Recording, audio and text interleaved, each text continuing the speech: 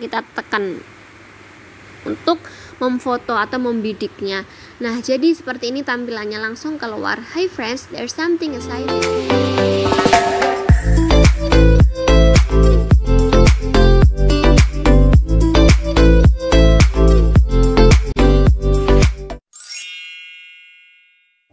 Mau translate bahasa? Gampang, tinggal scan di HP kita doang loh. Assalamualaikum warahmatullahi wabarakatuh Halo apa kabar semuanya Semoga kita semua selalu sehat dan selalu berada dalam lindungan Allah Subhanahu wa taala. Amin. Oke teman-teman semuanya, hari ini kita akan belajar bareng lagi mengenai tutorial yang bisa kita lakukan di HP kita, HP yang super canggih ini di era yang semua serba praktis ya, teknologi praktis ini itu bisa. Kemudian kita tinggal misalkan misalkan kita pengen apa nanti langsung muncul apa. Kita pengen pesan makan kita bisa lewat grab food atau gofood dan sebagainya. Nah sama seperti ini mungkin beberapa di antara kalian yang anak pelajar masih pelajar ataupun mahasiswa ataupun sudah uh, kerja yang kebetulan ngeklik video ini dan membutuhkannya jadi di video kali ini kita akan belajar tentang bagaimana sih menerjemahkan sesuatu atau translate semua bahasa pakai HP yang biasa kita pakai ini, yang sering kita pakai ini. Jadi translate-nya ini bisa pakai semua bahasa gitu teman-teman. Bisa bahasa Indonesia, Jawa, Inggris, Arab maupun bahasa Perancis dan sebagainya. Ini juga bisa kita pakai buat pembelajaran e, menyongsong pembelajaran kita di sekolah. Nah, seperti itu. Jadi hari ini kita akan belajar sesuatu yang bermanfaat banget ya. Jadi buat teman-teman yang penasaran gimana sih caranya translate semua bahasa pakai HP kita, check it out saja. BTW aku akan selalu ngingetin kalian buat jangan lupa like video ini dan juga beri komen, saran, usul pertanyaan ataupun sanggahan. Atau bisa juga kalian langsung DM aku di Instagram aku at izanf underscore underscore. Dan juga jangan lupa subscribe channel ini dan nyalakan notifikasinya supaya kalian tahu video-video terbaru dari aku. Terima kasih teman-teman. Langsung saja buat teman-teman yang penasaran bagaimana cara translate semua bahasa pakai HP kita. Check it out Oke, di sini itu gampang banget. Langsung saja di sini kita akan pakai bukan Chrome ya. Di sini kita akan pakai yang Google. Kemudian teman-teman bisa klik Google-nya. Di sini Google aku udah aku taruh di atas sini. Klik Google. Uh, laman Google. Kemudian tampilannya akan seperti ini. Di sini ada pilihan kayak tombol uh, apa itu atau kaca pembesar kemudian ada mikrofon dan kayak pendeteks gitu ya. Kemudian kita klik yang pendeteks itu. Nah di sini teman-teman itu bisa milih uh, ada beberapa fiturnya. Di sini ada terjemahan. Jadi kita untuk menerjemahkan ada teks untuk menyalin satu teks kalau misalkan teman-teman lagi bikin makalah terus uh, keburu gitu kan kopas bisa pakai ini kemudian telusuri misalkan kita butuh apa kita punya fotonya tapi nggak tahu itu namanya apa pekerjaan umum belanja tempat makan dan masih banyak banget. Itu gampang banget. Nah di sini kita pergi ke menu yang terjemahan.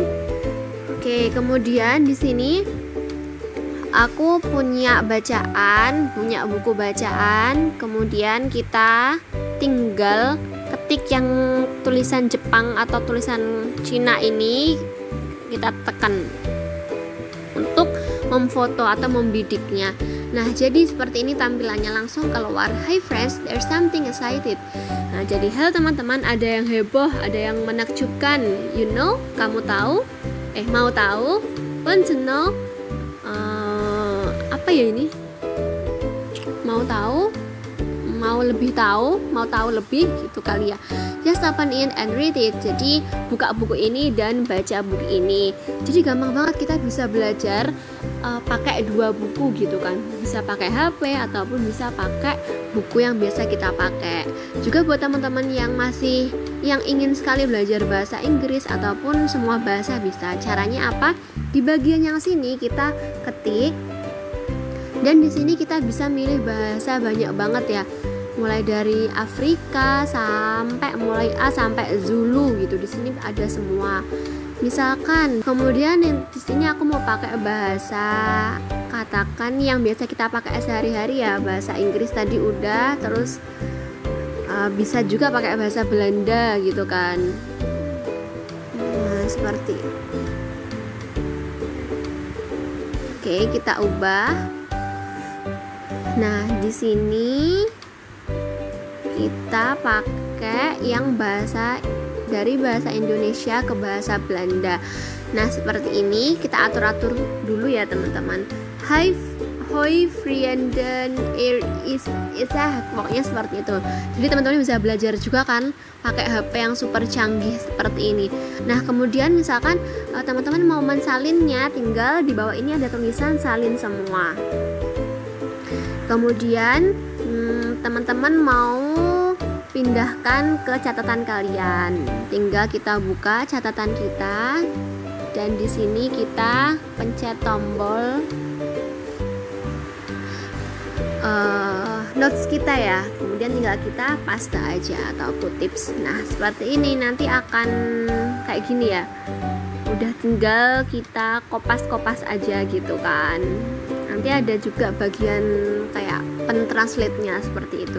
Jadi gampang banget teman-teman. Silahkan dicoba buat teman-teman yang uh, mungkin jurusan bahasa Arab ya yang nggak tahu ini artinya apa ke bahasa Indonesia bisa juga dipakai yang seperti ini. Kayak gitu teman-teman. Semoga tutorial hari ini bermanfaat untuk kalian semua. Jangan lupa langsung dicoba ya biar nggak lupa. Oke terima kasih teman-teman yang sudah klik video ini dan juga tonton video ini sampai akhir Kalau video ini bermanfaat untuk teman-teman semua Jangan lupa tinggalkan jejak dengan cara like video ini dan juga komen Saran, pertanyaan, usulan ataupun atau apa pun Saran, usulan, pertanyaan atau apa pun itu semua Juga bisa disertakan di DM Instagram aku izanf underscore underscore. Dan juga jangan lupa share ke teman-teman kalian. Siapa tahu teman-teman kalian sedang membutuhkan informasi ini dan yang terakhir yang gak kalah penting adalah subscribe channel ini dan juga nyalakan notifikasinya supaya kalian supaya kalian tahu video-video terbaru dari aku. Terima kasih teman-teman semuanya. See you next time. Wassalamualaikum warahmatullahi wabarakatuh. Bye bye. Innalillah ya Allah. Anak ibu dan dua anak. Ayah ibu dan dua anak itu aku perlu. Oke, kita bantu doa juga teman-teman buat saudara-saudara kita. Ini kebetulan muncul di beranda aku uh, orang sekeluarga meninggal di Tulung Agung karena bertepatan juga rumah aku di Tulung Agung teman-teman. Kita beri al-fatihah buat keluarga beliau dan keluarga semua keluarga kita semua yang ada di Indonesia semoga pandemi ini segera berakhir dan kita bisa melaksanakan aktivitas seperti dahulu kala. Amin